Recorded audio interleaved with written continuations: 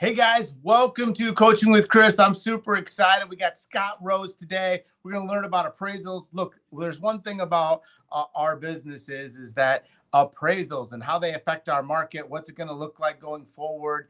Uh, this whole AI discussion, and I'm excited to be able to really truly dive in to the whole appraisal uh, and uh, and learn and understand from Scot. But look, if you haven't signed up for my boot camp, I got a few seats left. I know it's next week. I know it's last minute, but I know a lot of you are last minute. And so, hey, if you want to get to this boot camp, I think it's the best boot camp I've ever put together. Mindset, prospecting, great tactics, working on your team, being able to overcome this market, and then take advantage of what the next three years are going to bring. This is the boot camp for you. So if you haven't signed up, please, please, please, I want to change your life, and I can't do it unless you come here. So Scot, come on in here. Uh, I can't wait to uh, really be able to dive into uh, appraisals. And uh, I, I my first question, Scot, is thank you for coming on. But two is is that uh, how did you get into this game? Oh man, that goes back a, ways, uh, Chris. But I actually got into the appraisal profession working summers in an appraisal office back in 1995. Back before we had digital cameras and everything else, I would run the back Polaroids. the one. That's right. The Polaroids on there. Or the, the remember one hour photoshops? Um, yeah. We would I would run back and forth from the one hour Photoshop and glue all the photos into three cop paper copies of the appraisal and uh, deliver those to our to our customers, which ultimately led me to getting my appraisal license uh, in 2000. And um, you know, I, I, used it to put myself through college at, at, at, CU and studied computer science and applied math. And then down the road, those two things kind of merged. And I'll save you the the the long story there, but that's kind of how I got in the game. You know, I know classes uh, uh, in my mind one considered to be one of the premier uh, companies. How long have you been with Class? A little over five years now, and I pre- appreciate that. Yeah, absolutely. Like to think of us the same way. Uh, I don't know what I think about John, but yeah, we'll save that for a conversation. That, is that another topic? Yeah, yeah. What yeah. about John? exactly. Uh, well, um, you know, I got I got a lot of questions, but um, you know, I think the biggest question is is where are we headed and what what is it going to look like uh, in a year, two years, and five years out? So I think, um, in short, where we're heading is going to have moving into a full spectrum of products and options around collateral valuation. I don't know that will always be a traditional 1004 or you know 1073 for condo type of environment on every single mortgage transaction that goes through i think we're going to start to see some options based off certain risk criteria property type etc that investors look at and determine what do they really need to know about that property. And so i think what's exciting is you know all of us have been through a few cycles at this point whether it was 2016 or 2020 and 2021 where we had a, a pretty strong um, strain on appraiser capacity and prices went up t- turn times went out you know extremely far. And so now we'll have more options to, to help reduce that. And that would be things like waivers that we're all accustomed to right we we've all used to using waivers well now there's you know both fannie and freddie have added options that are a waiver plus data collection and so it doesn't necessarily need a full appraisal it comes with value acceptance uh, up front, but they want to understand and ensure the property is in okay condition and meets their eligibility standards. Maybe the property was uh, eligible for a waiver, but was in an area where there was a, a, recent natural disaster. They just want to make sure everything's still standing and, and there and, and okay. Um, and there's some other aspects that go into it as well, but there's a whole nother sliver now in there where it's a waiver plus data. Mm-hmm. And then we also have in the next level of spectrum is using that data and information to provide to an appraiser to do a desktop appraisal or a hybrid appraisal where maybe they don't have to visit the property. And the way property data is being collected is going to look a lot different. It already does look a lot different. We can now send five different people out to a property using technology that will give you the same five results every single time. It generates a digital twin of the home, it has a lot more comprehensive information. So it really allows for full transparency in the process and more confidence that all the data is being collected accurately and consistently. More source of truth data around property. And and last, I would say we're going to start to see these worlds come, you know, merge and come together more. So maybe instead of sending an appraiser out post transaction uh, to gather the data and information on a purchase, maybe that data and information is being captured at point of list with tools that can also enhance the marketability of the property, like 3D tours and high quality imagery. But then at the same time, all the data is collected that's needed to support these downstream processes that we were just talking about, which I yeah. think is the ideal. I mean, th- this world has really become data driven. Wouldn't you agree? I would. The one question that always just baffles me, and hey, look, I'm a lender. I like to do as many loans as I can. Um, I don't obviously want buybacks and be able to participate in in anything uh, that hap- just generally happens, but I don't want to make that percentage larger. You know, how do you think we're going to solve Fannie Freddie collecting all of this data um, o- over these last years? But property condition uh, is something that technology and data can't solve. Well, I don't know that it can't solve. It can add and add support. And you know, honestly, when you talk about buybacks, one of the top reasons for a repurchase is is uh, physical characteristics of the property being misrepresented. And so, if it's not captured right, or or something's not um, addressed in the in the appraisal underwriting process around property characteristics, that's usually one of the things that can cause. I think it's number two or number three reasons for for repurchase demands. Yep. When we use technology to capture that information, it's now more comprehensive, more consistent, more standard, um, and more source of truth. It actually can protect the lender from repurchase risk downstream. There's also a lot more information for the lender to leverage and say, no, look, here, I have a complete digital twin. Everything was captured at the property. This is a condition it was in at that current state. And, you know, as we speak, image recognition technologies are advancing every single day and they're actually getting pretty good at identifying condition and quality of, of property i mean there's image recognition technology out there that can tell you from photos of a kitchen if it was recently updated if those uh, upgrades came from home depot or lowes or was it custom right so um, it's continuing to advance these are the same tools that get used to drive self-propelled vehicles that we're using to collect property data and they're going to continue to advance um, as as time goes on, and and we'll get more accurate and more consistent um, than where we were previously. And you know, I kind of thought we talked earlier, right? I used to drive one back and forth to the one hour Photoshop, but we don't see one hour Photoshops anymore. Everything is digital, and that digital camera transformed the appraisal industry. And now we're at a point where there's a lot of technologies available out there that can really assist in bringing more credibility to the process. So you saying you're going to send a drone to my house? No. Maybe one day. The cool thing is the imagery can be captured really from any perspective. It could be on a tripod with an iPhone. Um, it can be a human holding the camera. And uh, I suppose, you know, I guess conceptually it could be a drone flying through the house. I don't know how, how soon we'll be there. Um, but maybe a robot car will drive to the property and a drone will fly off that car and go in and scan the house and go away and there'll be no humans. But I think we're quite a ways away from stuff like that. You know, this reminds me a lot of the cartoon I used to watch when I was a kid, the Jetsons. The Jetsons, man. Yeah, right. absolutely. I mean, uh, some of you probably don't even know that what the Jetsons are. You'll have to YouTube it. But uh, um, so, you know, picking a company like yours um, and you know, walking through the true value. Uh, my big word that we're working on as a company is impact. Um, what what does your company do different, better? Um, I know you're biased, but then all of the others.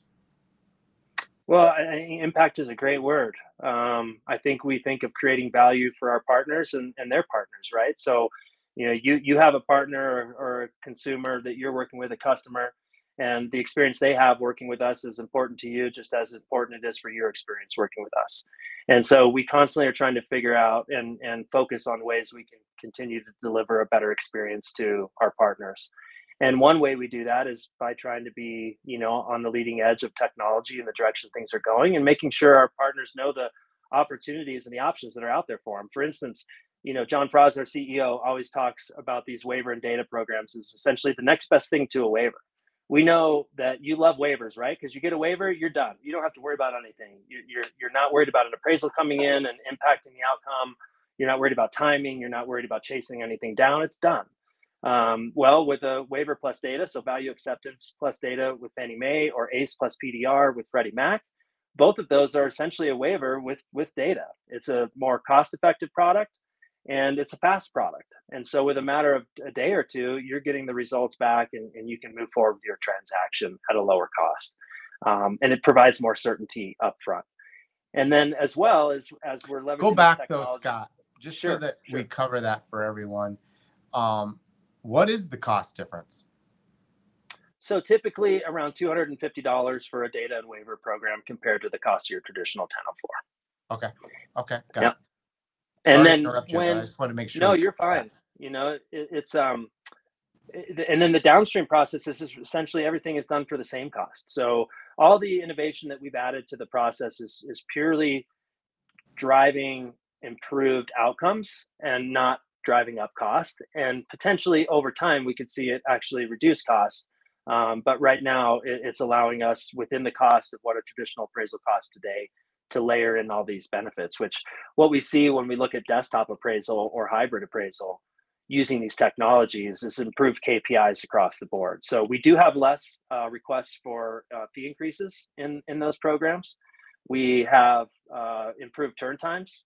We have reduced underwriting revisions. We have reduced requests for reconsiderations from consumers or real estate agents and others. Um, and so it really drives a, an improved outcome throughout the whole process. When we standardize that upfront data capture, um, you know, a lot of times appraisals come back for wrong photos, missing photos, blurred photos, sketches that are mislabeled. Um, you know, these are common things that come up uh, back and forth in the process. Well, those are all eliminated when you use this technology. So it just drives efficiencies in the whole uh, cycle and, and improved outcomes. And like I said, also uh, in terms of repurchase and things of that nature, it's going to further help to support that and protect the lender from that perspective. Yeah. Yeah. Uh, how how do you be selective in making sure you have the best appraisers for these markets across the country? Like, you know, um, I I one time uh, the, the scariest story I've ever had was we sent an appraiser out to do an appraisal. This is probably early 2000s, and um, uh, he went through and he was doing the inspection inside and the mother came around the corner and he had picked the baby up out of the crib Oh Um, God.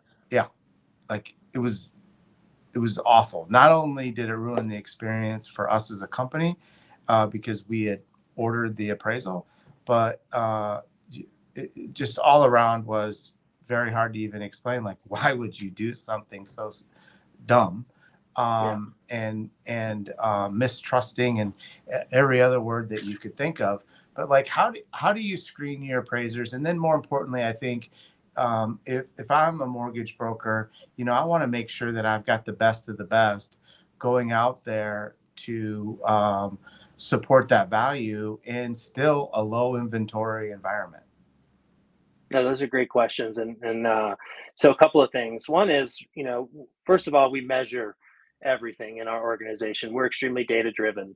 And so every component of the appraisal process from customer experience um, to quality and delivery, on time rates, um, you know, overall turn times are, are measured. And we, t- we take that data and information and we, we keep it in our, in our data warehouse. and we have a whole data science team that actually works with that information. And so about almost you know 55% to 60% of our orders are assigned th- through our Smart Assign um, platform, which is data science driven, computer driven um, assignment algorithms. So the computer, and this is something we've actually been working on this for, for years, and we always measure it against the the human outcome in terms of what we experience we had previously, but we're essentially using predictive analytics to know exactly how that order is going to go based on which appraiser that we assign it to.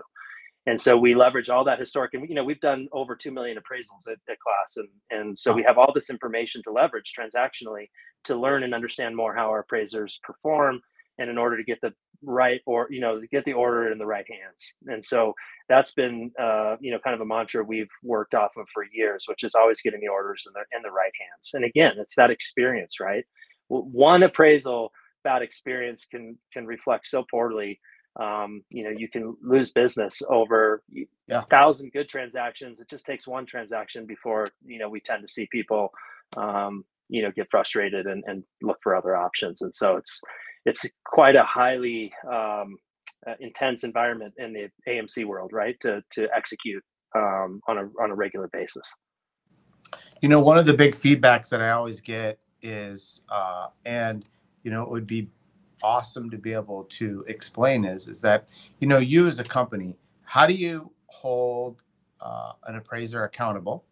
Uh, and two is how do you do that through your extreme follow-up? So i think on the on the accountability side you know we have a whole team of appraisers inside of class that in our escalations group. Um, you know we want to make sure that when we're getting into those escalations as it relates to the appraisal, at least, and the appraisal component of this process, that we have the right people, the educated people that are in the right seats to to work through those those issues. And we have a um, uh, you know an appraiser escalation group, the, a risk committee that can go through and determine if appraisers need to be removed from the panel if, if things are egregious enough to, to do so.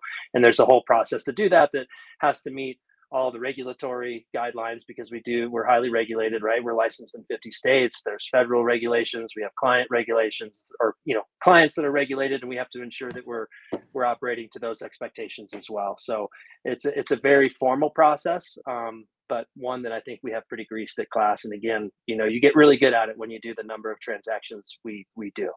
Um, and so over time you you also whittle down to the key partners that you work with on a day-to-day basis. You know we have thousands of appraisers that we work with that have earned um, you know th- themselves onto our class act panel and those are the ones that we go to also um, out of the gate because they've got a proven track record and they've been working with class for a long time. Ah so so an appraiser that's worked for you a good time had good results had great feedback um, and you really truly knew the quality of work is probably going to get more appraisals than maybe some rookie that joined. Yeah, absolutely. It takes a little while to work your way work your way into that rotation. You know, it's it's definitely an, an earned um, you know it's an earned value that they that they get by working with class over time and showing us that they're a good partner.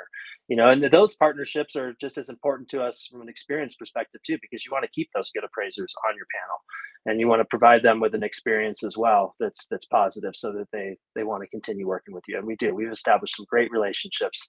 Uh, oftentimes the, the media and you know there's a loud few of, of, appraisers out there that often you know give amcs a bad name but i'll tell you we have a lot of appraisers that really love to work with class and we've built long-term relationships with and, and it's uh it's mutual uh, value add for for each of us. Yeah. Yeah i like that. You know one of the big topics in um, south dakota and i i know that i'm just a really small state but cool state it, though.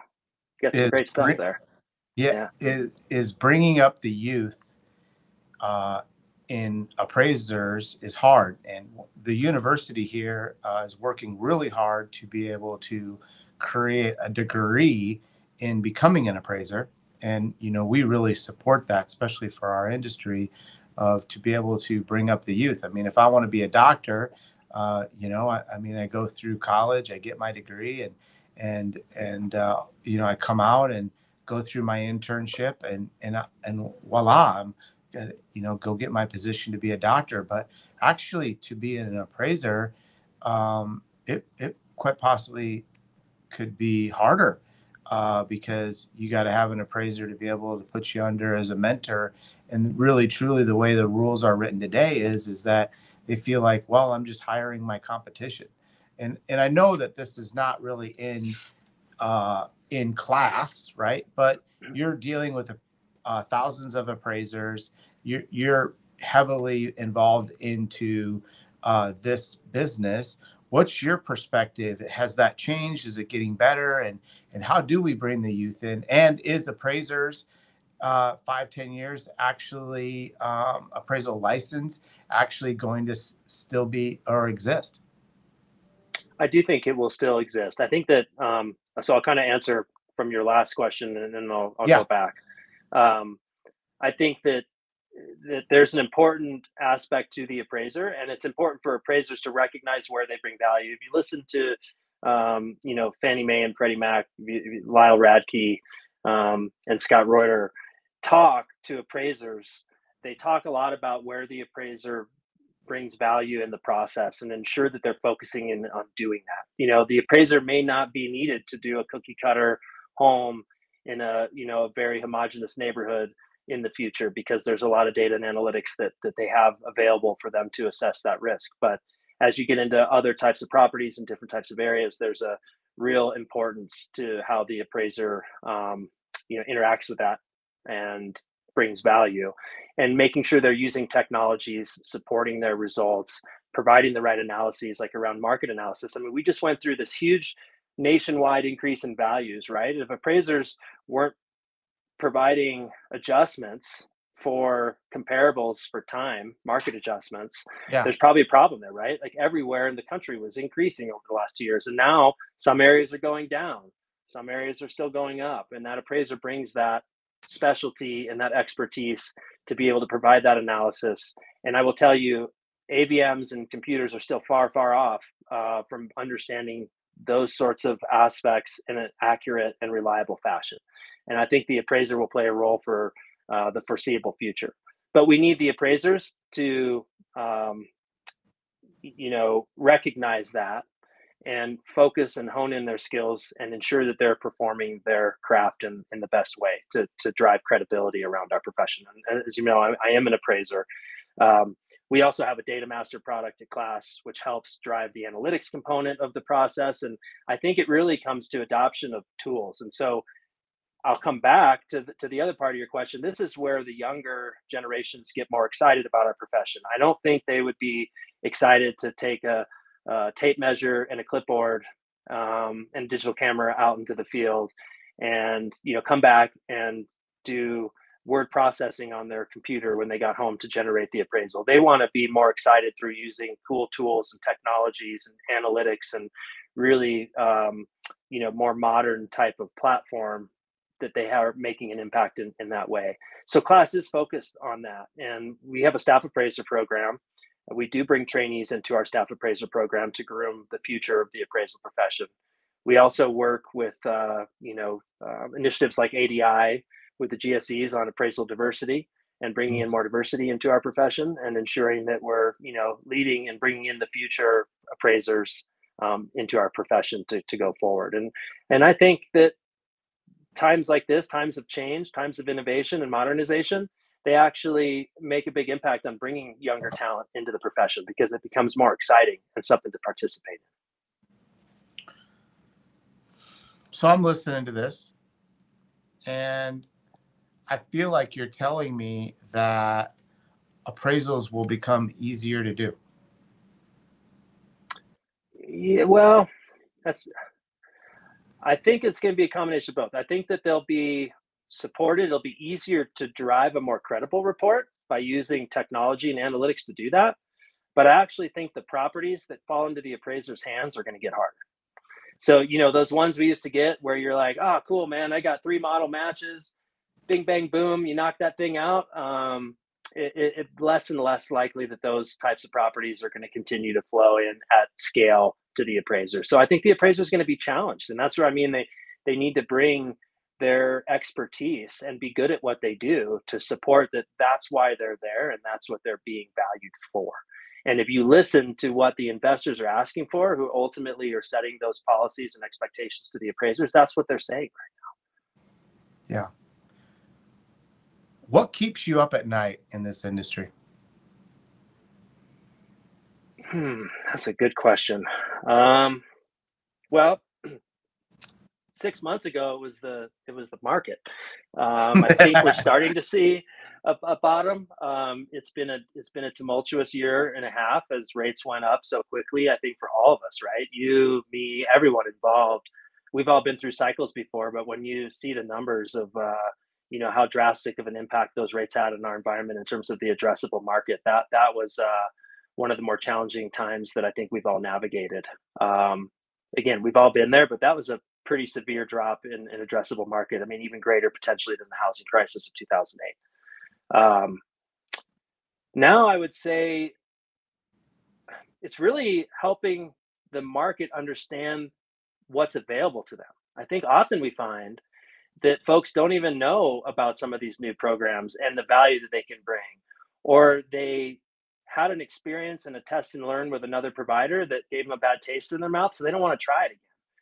We always thought the challenge was going to be mostly in building appraiser adoption around these new solutions. And, and we faced that back in 2018, 2019, 2020 when we were in test and learn and working with lenders that were more progressive now it's more about real estate agents mortgage brokers loan officers you know helping them understand that there's actually a lot of opportunity through this modernization to improve your experience and so maybe if you've had a bad experience in the past with with one of these solutions that didn't go well recognizing not all solutions are created equal it's really important that whoever's performing the services has advanced technologies to support it you mm-hmm. really can't do a good job without that you can't send somebody else out in the field to collect property data that's other than an appraiser if you're not using um, advanced technologies to do so. Like our appraisers, for instance, when they get this data, we bring them into a virtual reality environment. I mean, they can literally walk through the home as if they were there physically on a virtual platform through, you know, what you would all experience with like a virtual tour on a listing when you can walk through that home. We have a full environment where we provide that to the appraiser to inspire confidence in them and to inspire confidence in real estate agents and others. The appraiser is actually seeing the whole home they're getting a full comprehensive view versus some folks just provide like a 78 page PDF with two dimensional images in it and a bunch of textual information about that home. It's a lot harder for an appraiser to do an appraisal based off of a PDF than it is off of a virtual reality environment like that yeah. we provide here at class. And and the consistency and accuracy of that data collection. Um, you know, you still have to underwrite a data collection file like an appraisal, except it just doesn't have comps. But you have to ensure that that property meets the eligibility requirements for you know saleability to your investor, and that's another thing I think that's important to ensure that the technologies being utilized are are, are gathering that. But mm-hmm. these are great products and and a big opportunity for us to improve the experience. I mean, think about if all the data is collected at point of list and you can get either a, an immediate waiver because the data has already been collected in a data and waiver you know scenario or if you need an appraisal you can get that back in 24 hours versus waiting three or four weeks because right. you don't have to send an appraiser out to the property um, you know and so I, I think that that uh, making sure the market knows and understands these products and that they're aware of them and they have the right perception that's probably what keeps me awake right, right now at night is, is ensuring we're getting the right information out there and the accurate information. Um, because there's also a lot of our competitors who may be trying to also talk these solutions down because they can't provide them. And mm-hmm. so uh, you know there are people who are against change because they're scared of change because of the threat to the to the market. But really there's a lot of value here and we, we want to ensure that our partners understand that value yeah, I love it that you're a company that embraces the change and you you find your value with inside that change. If I'm a lender, if I'm a broker, what's what's something that I need to know about the GSE policy? Like, is there something that I really should be able to concentrate on um, that would be good for me to know? I think the two most important things that I hear coming up for questions around this that, that we're finding is one, how do you know that it's eligible el- eligible for these for these solutions? Sometimes right. the the way it will come up on on the platforms would be it, it might still say that a 1004 appraisal is required, but if you continue reading down through those eligibility um, messages, you'll see that it is eligible for value acceptance plus data. You know, we're talking about Fannie Mae um, or looking on on Freddie's uh, findings to say ACE plus PDR. If those are there, then that solution is eligible and you can move forward with Say that, that again on Freddie so that everybody caught that because you know getting everyone to read their true findings for what pay stubs you need, let alone the appraisal, is sometimes challenging. Um, I think it has, yeah, it has proven to be a bigger part of the challenges for folks to know and understand how to navigate that. Um, and again, I don't see those on a daily basis, but I hear from our partners what they're running into. Mm-hmm. And it's really looking to ensure, like with Freddie, looking for that ACE plus PDR option um, in the loan file. you know, and then on Fannie looking for value acceptance plus data.